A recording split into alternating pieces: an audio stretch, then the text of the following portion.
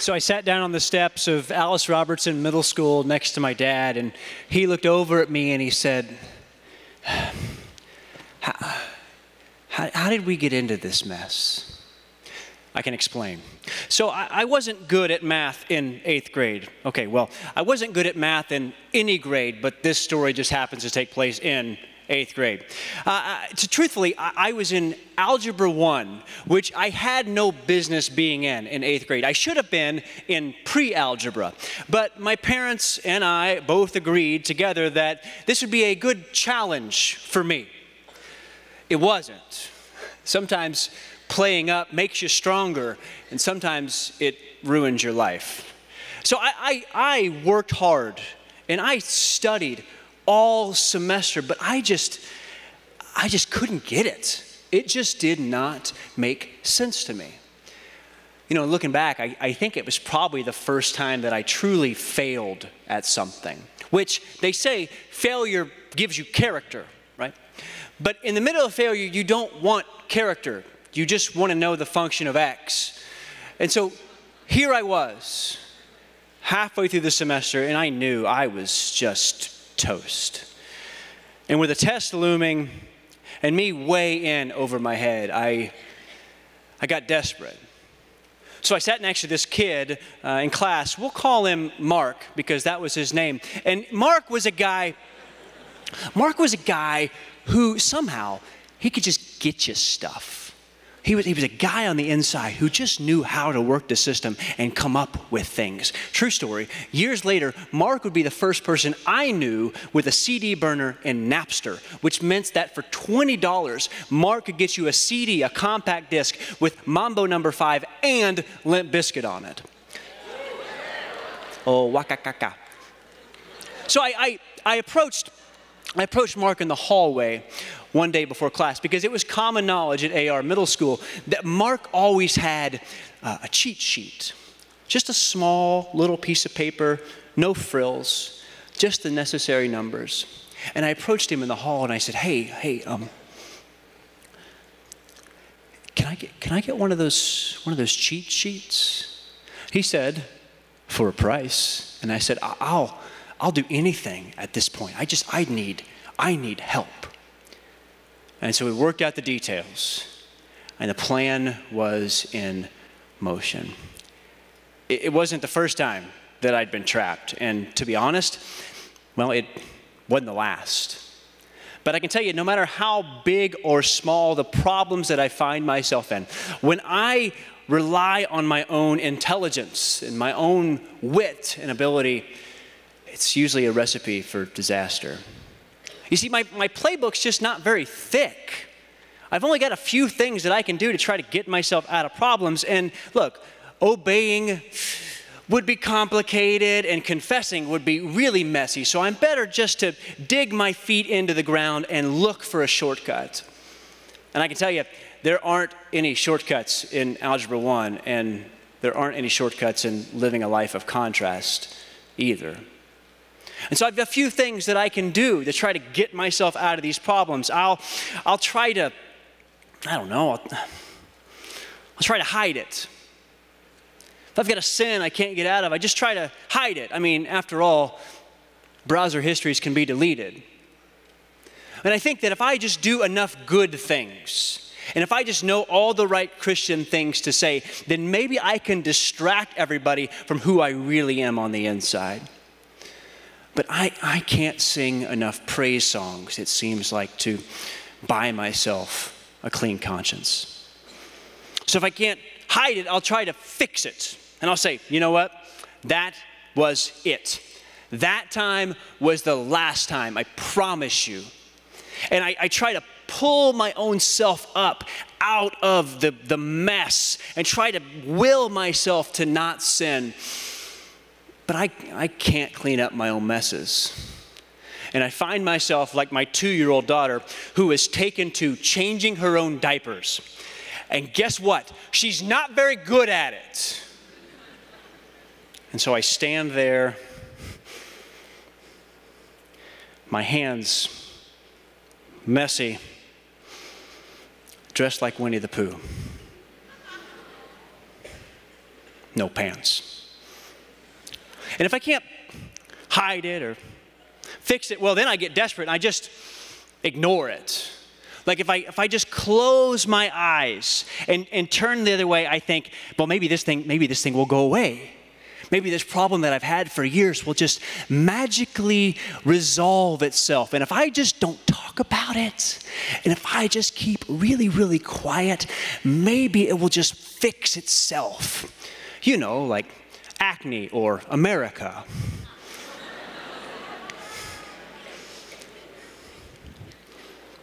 but I, I know who I am. And I know that deep down inside, I'm, I'm a rebel. And no matter what I try to do, I find myself naked and ashamed and hiding.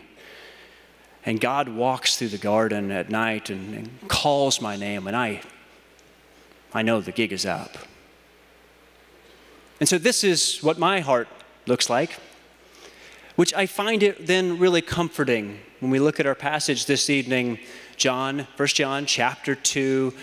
John, John writes, I think, something really intriguing at the very first part of this text. He says just three little words My dear children. And I think John says a whole lot with just those three words. My. Do, do you get, do you catch the relationship that's involved with that? my. He doesn't say you guys, he says us. To say my implies covenant. It implies I'm in this with you. We're in this together. And if I could just kind of flip to the end of the evening, I want you to know that I don't know, you you might need to make a decision tonight. And you might be called upon to repent my deepest prayer for you in that moment is that you would find friends and adult leaders who would say, We love you, and you're not going through this alone. Speaking of love, the next thing John says is, Dear. Do you get the, the compassion, the concern, the, the emotional, heartfelt investment? You know, I don't know, I don't know what it is, but for some reason, when someone comes clean or, or confesses a sin, we want them to just pay. We want them to get everything that's coming to them, and then we'll, we'll accept them after they do their time. And it's, it's kind of like the church sometimes communicates that confession is hazardous to your health. And it's no wonder that people stay in silence for so long the third word. We're three words in. And John says, children. children. Inexperienced, naive. They don't always make the right decisions. They really don't know what they're doing most of the time. And we're all ex kids. We can admit this that when you're a kid, you just don't know a lot. I mean, right? I mean, hopefully by now you know a whole lot more than you did just five, six, seven, eight, nine, 10, 8, 11 years ago. But, but we think it's cute that God refers to us as His children. And we're like, oh, God, that's so sweet. No, no, no, no, no. God's simply reminding us that we are His kids and we have a long, long way to go. Now, Christianity is not about doing all the right things. Christianity is about knowing who your father is. We walked into the classroom and sat down, and Mark took his place to my left. The teacher passed out the, the test. Mark began taking the test at an unusually fast rate. But after he filled out both sides of his test, he took the cheat sheet, put it on the floor as we had discussed, and with his foot slid it over to me. My instruction was then to meet his foot halfway through the aisle, put my foot on top of the, the cheat sheet, and then ever so slightly bend down and pick it up. As I was doing this and I made my way back to my desk, my eyes looked up, and there was my teacher. I know. I was there. She took my test took my cheat sheet and sent me home with a letter from my parents about their cheating son. Later that night, I threw myself on my parents' bed and I said, It's not fair. This is, this is all Mark's fault. My dad said, Did you cheat? No, I didn't have a chance. I spent the next hour pointing a finger at Mark and saying, This is all, this is all his fault. He, he, he's the one to blame. He, he's the cheater. He, he's the one that made the cheat sheet. He got me into this. I don't know why, whenever I'm trapped, I'm so quick to point to somebody else who is just in a little deeper than me. And I, well, I guess that's because rebels make really poor advocates. John continues as we look at the fourth word and beyond in this text. He says this I write this to you so that you will not sin. Hmm. Sin is the culprit in this story, but, but not like you think. You see, for me, I don't know about for you, but for me, it's it's never been the big sins that have tripped me up. At least, at least at first. Because I have found myself throughout my life being able to sin and actually being pretty comfortable with my rebellion as long as I can point to somebody else and say, Yeah, but have you, have you seen them? Or as long as I can say, Yeah, but I mean, at least I'm not, I'm not sleeping with her. Oh, yeah, but I mean, I, it's not like I, it's not like I said it to his face. And I mean, come on, even if he, even if he knew, he, he would know I was, I was joking. Yeah, but I mean, he, he made the cheat sheet. I, I'm convinced that the enemy will never come to you and say, hey, hey, hey, hey, hey, hey, put this on. Because we're like, no, you're the devil and that's a chain. But what he will do is say, hey, hey, hey, put, put, put this on. And we're like, well, that's just paper.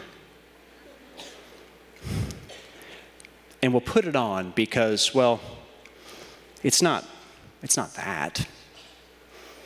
But it's, but it's still a chain.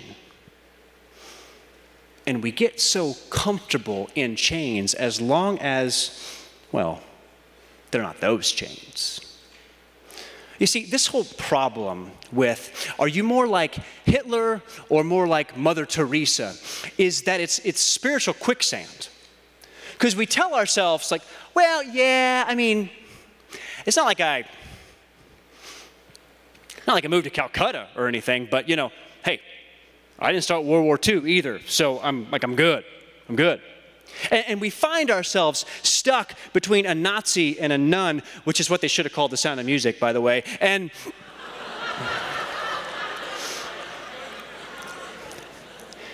and we get so comfortable. Because as long as I'm on the grid somewhere between the best person in history and the worst person in history, I'm just average. And average is an okay place to be. Because nobody really calls out average. But Jesus shows up and he walks right past Mother Teresa and says, Hey, hey, hey, I, I'm the standard. Come, come stand by me. And we say, I can't. I got these chains. And before we even realize it, somehow, they've grown and they've changed from paper to metal. And we didn't even see it coming. I laid on the bed and I said, Dad, Dad, they're gonna, they're gonna suspend me. That's what they do with cheaters. They're gonna suspend me. My dad nodded and left the room. I heard him down the hall uh, making a phone call. And from as best I could tell, he wasn't ordering a pizza. I know that because he said the word algebra more than he said the word pepperoni. And that is a context clue. But he, a few moments later, came back into the room and sat down on the side of the bed next to me and said, Well, we have a meeting tomorrow at the school with your teacher and the principal. Okay. And I'm going with you. Okay. I thought you were ordering pizza. There's two things you need to know about my dad in, in this moment for this story to make sense. The first is this he is the most loyal man I've ever met. This is a guy my entire life has shown up. He's been a guy who's just been there. In third grade, my Boy Scout leader was Freddie Wisner's older brother. Yes, that was his real last name. No, it was not easy for him to go through elementary school with a last name like Wisner. So, Freddie's older brother had been discharged from the army the summer before. We don't know why, but we assume that he had a lot of free time on his hands. So, somebody who makes decisions thought, this man has disgraced our nation. I have an idea. Let's let him teach little boys how to start fires. Private Wisner was relieved of his post. After, this is, this is all true, after one Boy Scout meeting, he took us into the boys' room of the uh, local elementary school there, and one at a time had each of us fight him off fist to fist like he was a predator. And I, am in third grade and I'm going, I don't think there's a merit badge for this. The next week at the, the meeting, the regional director came in and had all the parents there, and he was like, Well, okay, guys, uh, we've got these boys here. They don't know how to do much. Uh, they can fight, but other than that, they have no merit badges. We need someone to step up and lead these Boy Scouts. My dad, on the way to the school that night, we walked the three houses to my elementary school, had told me, hey, listen, if they ask for an adult to help and volunteer, I, I just can't. I'm, I'm over, I just, I'm just doing too much. There's so much going on. I got work and all this other stuff. Like, I want to, I just can't do it. Okay. But when the regional director said, Can anybody help out? My dad said, I'll do it. Because he showed up. The second thing is, my dad grew up in that town. He, he had gone to that very middle school. In fact, there were still teachers who were teaching me that 25 years earlier had had Danny Epperson in class. So when he walked into that, that office that morning, he was putting a whole lot on the line. Because to top it all off, of course, he was a legendary student. And he risked his reputation that morning for me. And all kids at some point disappoint their parents. That morning just happened to be mine. Now, was that, does that even come close to what Jesus did for us and for me? Of, of course not, of course not. But what it does tell me, what it does show me, is just what an advocate does. You see, John continues. This next line says this But if anybody does sin, spoiler alert, we all will.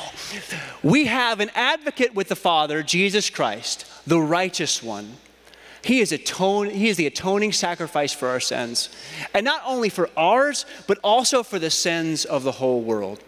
This, ad, this word advocate is such an, an interesting word. I think it's actually a pretty powerful word. Because an advocate is somebody with some sort of standing or authority that walks into a courtroom with someone without any status or authority at all and, and puts their arm around them and says, They're with me. My reputation is theirs. And that means this if Jesus is your advocate, he's not ashamed of you. And if Jesus is your advocate, he's not embarrassed to be seen with you. And even when we feel just gross, he comes in and he puts his arm around us and he says, She's mine. She's mine. And knowing that should fill us with this really strange mixture of, of confidence and humility. The book of Hebrews actually says that through Christ, we're able to walk into the very presence of God with confidence, not because of what we've done, but because of who He is. And there is such freedom as a follower of Jesus knowing that I am so, so messed up, but so, so loved at the same time. We walked into the principal's office. He'd greeted us at the door, and we walked in, and my teacher was already sitting there in the office, and I sat down in a chair, and the adults exchanged pleasantries. And the principal then walked behind his desk and kind of fluffed up his tie and sat down. And my test was sitting on his desk.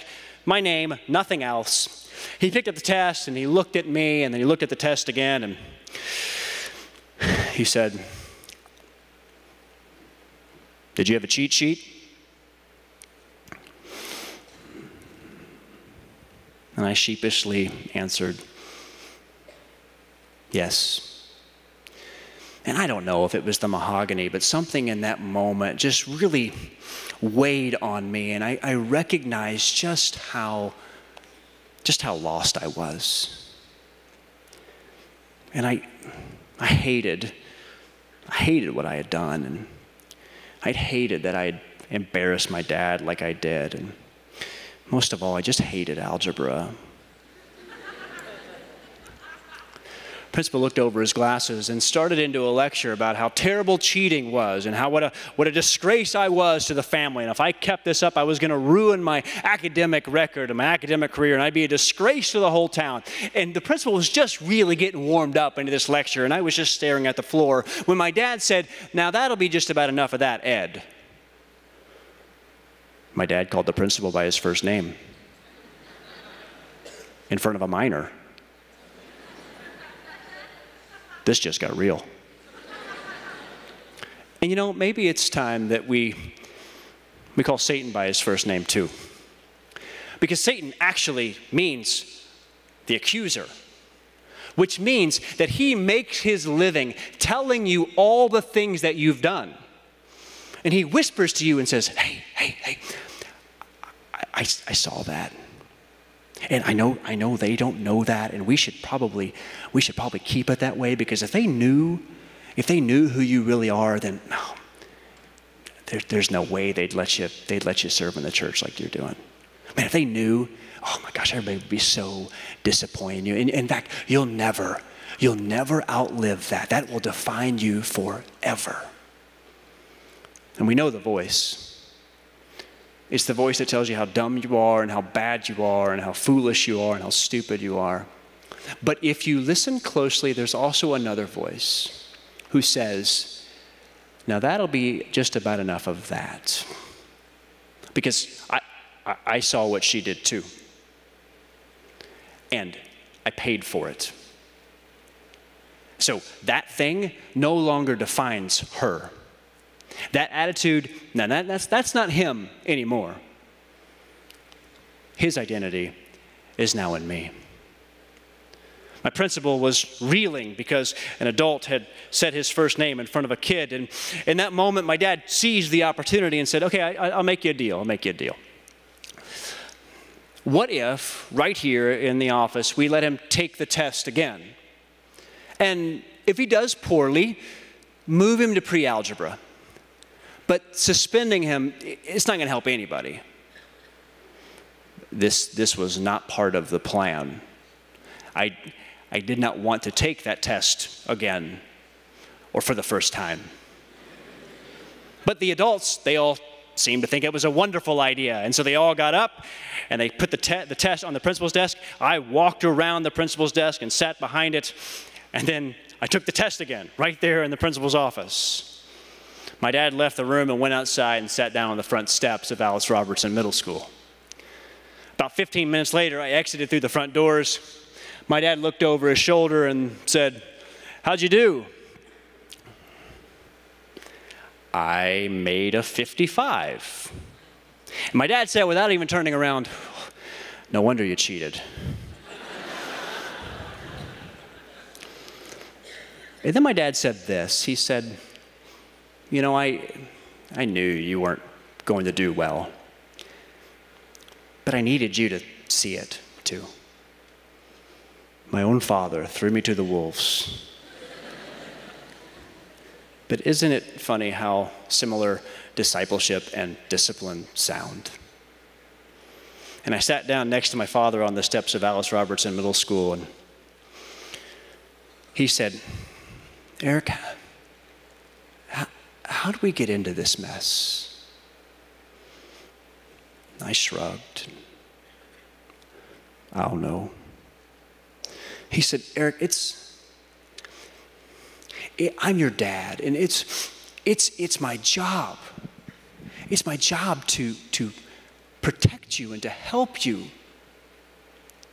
But you got to let me do my job. Why, why didn't you say anything? And then I said the same thing I've said a hundred, hundred times when I've been trapped and I've been holding it in. I said, I, I don't know. I, I, I thought you'd be mad. I thought, I thought you, would, you wouldn't understand.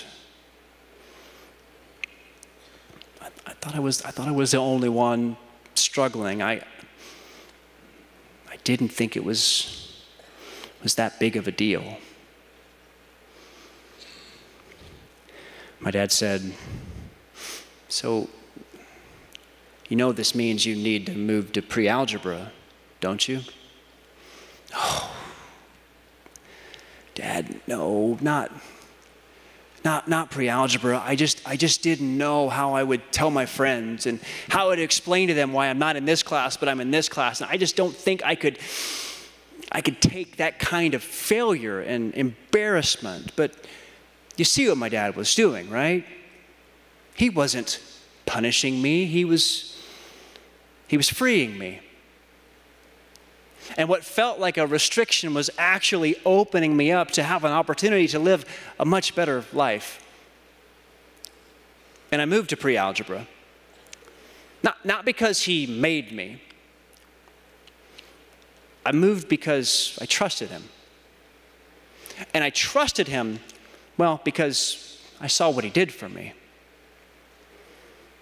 And, and Jesus got a hold of me the exact same way. And John continues. He says this We know that we have come to know him if we keep his commands.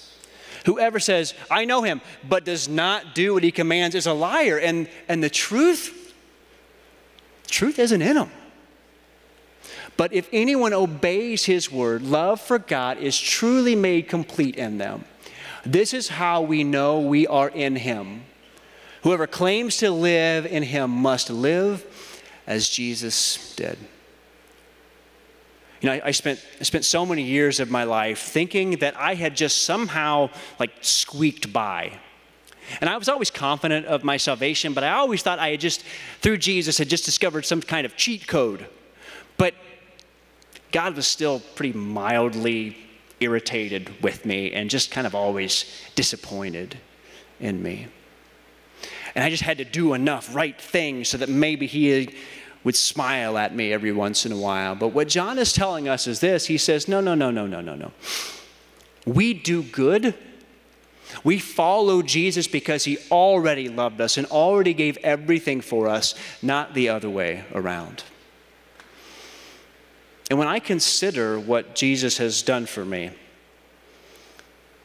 when I look at the cross, it would be silly of me not to trust Him. For Jesus to put His arm around me and say, hey, listen, I, I need you to do this. Or I, I need you to live this way. For me to go, nah, I'm good. I'm good. I got this algebra thing down. I got it down. 55, that's more than 50%. Solve that equation, Jesus. No. Because Jesus says in the book of John that he wants the best life for me. And the only way I get that is if I just trust him. And I've followed Jesus for a few years now. I can tell you that every time I listen to him, he's never let me down.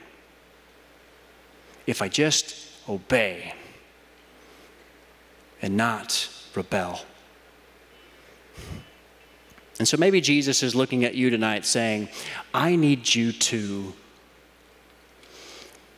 And tonight might be the night to say, I don't want to, but you can say, you can be honest.